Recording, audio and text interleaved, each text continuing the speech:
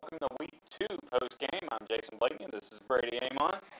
1:22 in the morning as we uh, as we kick this off. How so about that? that, Is that what that clock says? Yeah, yeah, some late games tonight. Uh, Yeah. Several games going after 10:30. Uh, kind of unusual, but you know, Brady, that's because there was a lot of points, and in your case, a lot of overtime. A lot of points, a lot of overtime. Catholic High wins uh, 41-35 in triple overtime. And uh, one of those games that, that kind of the ebb and flow of the game kind of changed often. Catholic, you know, Gulf Breeze jumps out to a 7 nothing lead off of a turnover. Uh, and But then Catholic kind of methodically gets back into it and it takes a 21-7 lead. And he's kind of starting to feel like, okay, they go pull away. All of a sudden, fourth quarter comes around and Gulf Breeze gets a couple quick touchdowns right off the bat in the fourth quarter, tied up and going to overtime. It goes back and forth. And it, as it turns out, it ends up being a five-yard penalty in third in a trip in the third overtime. That really kind of go, does Gulf Breeze in because instead of starting first and goal at the 10, they're starting first and goal at the 15 because the illegal procedure penalty.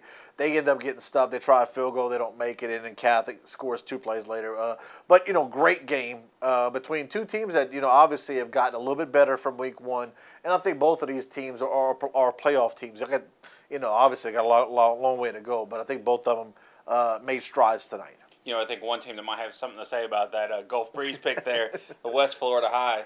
Who'd have thought they'd come out, not only get one city school win, get another city school win tonight with a 12-7 win over Washington. They're now 2 0. They're in that district, Gulf Breeze, and you know that they're a team that you watch out. Uh, they get some confidence. They have the athletes. Maybe they go out and uh, make a run this year. Well, and you know, and looking at their schedule, we'll talk about this more as the year goes on. But yeah, I really think they could be five and zero going into that Gulf Breeze game because of the way their schedule lines up. You know, they have Tate next week, and then they have Bay after that. Uh, you know, I mean, it's potential. They could be a five and zero team, which is something that I don't know if West Florida has ever been able to say. Uh, no, I, I can't. I can't believe that they have. Uh, the game I was at tonight, interesting game. 29-22, PHS gets the win at Navarre. First time these two schools have played.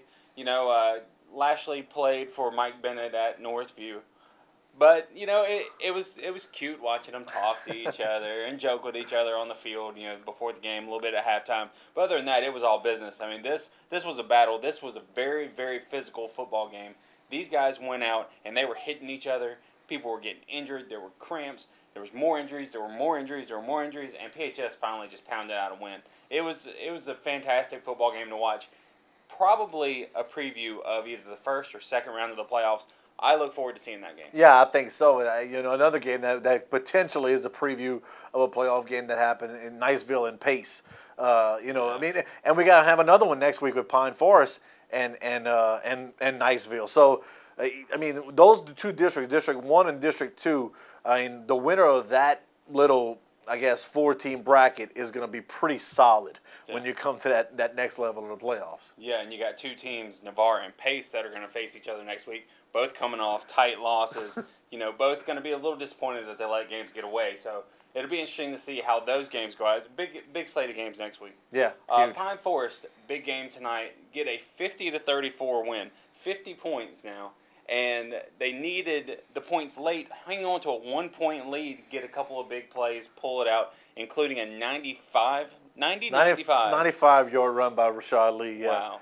And you know, I mean, that's two games in a row where they've really had to outscore their opponent, which is not something they really want to do. Mhm. So that defense has got to get better, and it's going to have. You know, I think when they start f- facing teams that are f- they're familiar with, not uh, not these out of the state school, Right. they'll know how to game plan a little bit more. Right. Uh, Jay, tough week for Yeah, Jay. yeah, You know, it, they they looked good last week.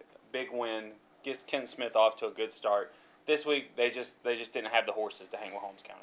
yeah. Holmes County is like one of those you know top five teams in the state right, Right. now. So, uh, but but it gives them a barometer. Now they know where they are. Now they knew where they need to get. All right. Uh, the rest of the games this week were out of town.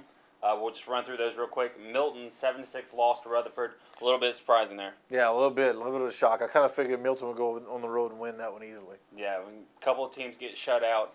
Uh, Fort Walton Beach shuts out shuts out Tate thirty three to nothing, and Crestview shuts out Escambia thirty two to nothing. Yeah, Tate's still looking for their first points of the season and a new spread offense. Yeah, that's that's the thing. You got to get that offense going. That's that's real difficult. Uh, going from the scrum formation to the spread formation, that's uh, quite a transition for those guys. The only other game uh, tonight Northview goes out of town, starts their season tonight after a bye in week one, gets a 27 to 14 win in a game uh, against Marianna that they jumped out to a to a quick lead.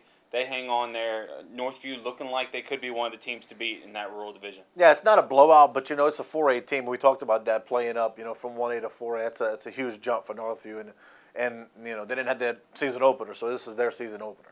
Yeah, so uh, I guess that wraps us up. Yeah. I was going to move on to the next game, but man, just flipped Quick right through those. All right, well, join us next week. We'll go through our picks. Brady, a little disappointed in you, I got to be honest. We'll talk about that next week. It's not really important. Uh, I'm a little disappointed in myself also. But uh, anyway, we'll, we'll move on from there. Join us next week. We'll have our picks, we'll have our preview, we'll have our post game. And uh, until then, I'm Jason Blakeney. This is Brady Aymond.